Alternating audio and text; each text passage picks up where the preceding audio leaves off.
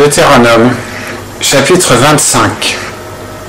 Quand il y aura un différend entre des hommes et qu'ils s'approcheront du tribunal pour qu'on les juge, on justifiera celui qui est dans son droit et l'on condamnera celui qui a tort. Si celui qui a tort a mérité d'être battu, le juge le fera jeter par terre et battre en sa présence, selon la gravité de son crime, d'un certain nombre de coups. Il le fera battre de 40 coups, pas davantage, de peur que si l'on continuait à le battre au-delà, par un châtiment excessif, ton frère ne fût avili à tes yeux. Tu n'emmèneras point le bœuf quand il foule le grain.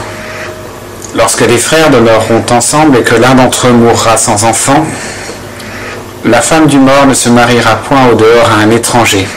Son beau-frère viendra vers elle et la prendra pour femme et l'épousera comme étant son beau-frère.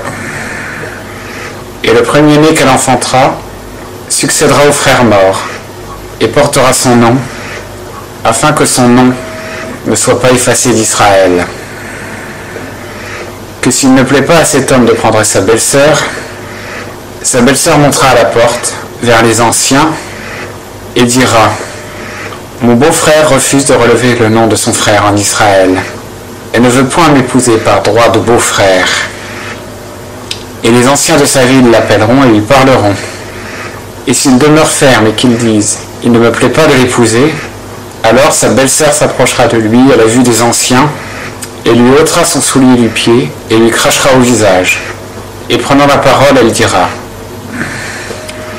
Ainsi soit fait à l'homme qui ne réédifie pas la maison de son frère.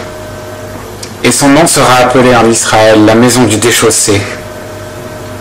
Quand des hommes se discuteront ensemble, l'un contre l'autre, si la femme de l'un s'approche pour délivrer son mari de la main de celui qui le bat, et qu'avançant sa main, elle le saisisse par ses parties honteuses, tu lui couperas la main. Ton œil sera sans pitié. Tu n'auras point dans ton sac deux sortes de pierres peser, une grande et une petite. Tu n'auras point dans ta maison deux sortes d'effats, un grand et un petit. Tu auras des pierres à peser exactes et justes. Tu auras aussi un effa exact et juste. Afin que tes jours se prolongent sur la terre que l'Éternel ton Dieu te donne. Car quiconque fait ces choses, quiconque commet l'iniquité, est en abomination à l'Éternel ton Dieu. Souviens-toi de ce que te fit Amalek en chemin quand vous sortiez d'Égypte. Comment il vint te rencontrer dans le chemin et te chargea en queue, attaquant tous les faibles qui te suivaient, lorsque tu étais toi-même là et fatigué. Et comment il n'eut point de crainte de Dieu. Quand donc l'Éternel ton Dieu t'aura donné du repos de tous tes ennemis alentour, au pays que l'Éternel ton Dieu te donne en héritage pour le posséder, tu effaceras la mémoire d'Amalek de dessous les cieux. Ne l'oublie point.